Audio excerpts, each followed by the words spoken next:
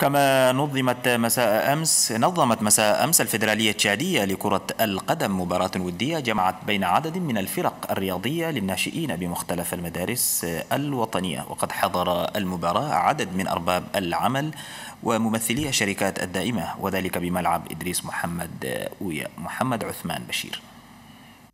هذه المباراة الودية التي جمعت بين مختلف أشبال المدارس الرياضية لكرة القدم للناشئين هو قد تم تنظيمه من قبل الفيدرالية التشادية لكرة القدم بهدف تجريبهم على أرضية ميدان الملعب لإبراز مهاراتهم الرياضية عبر هذه المباراة الودية التجريبية. حيث كان ذلك بحضور عدد من أرباب العمل والشركات الذين جاءوا بهدف الإطلاع على مهارات هؤلاء الناشئين لإمكانية مساعدتهم ماليا من أجل تحقيق أهدافهم المهنية.